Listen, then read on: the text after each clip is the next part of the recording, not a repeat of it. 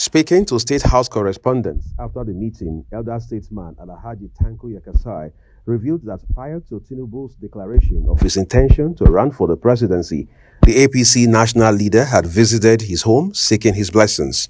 From Sir Abubakar Tafawa Balewa, I assure you is the last leader of this country from the political class.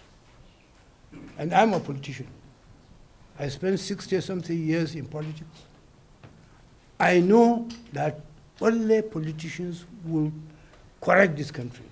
On his part, Chief Bisi Akande, an ally of President Tinubu, expressed his optimism for the future of Nigeria under the current administration, highlighting the importance of rejuvenating the governing All Progressives Congress APC and re-establishing good governance across the nation. I merely watch the perception of the country very excellent. People are happy with him. And that's why I boldly come during daytime. Also speaking, Muhammadu Sanusi, a former governor of the Central Bank of Nigeria, commended President Tinubu on the removal of petrol subsidy and ending multiple exchange rates.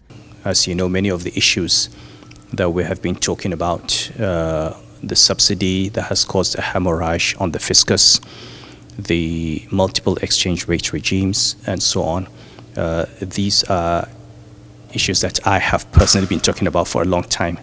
And I'm happy that on his very first day, he has addressed these issues and the markets are happy.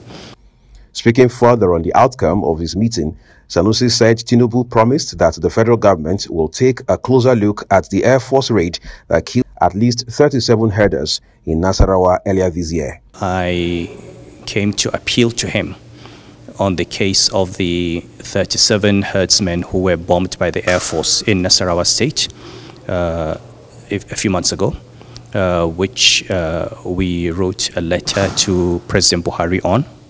Uh, and we have now written a reminder because it's a matter we do not want to be swept under the carpet. And um, the president has asked me again to send him that letter, and I'm sure that he will look into, into the matter.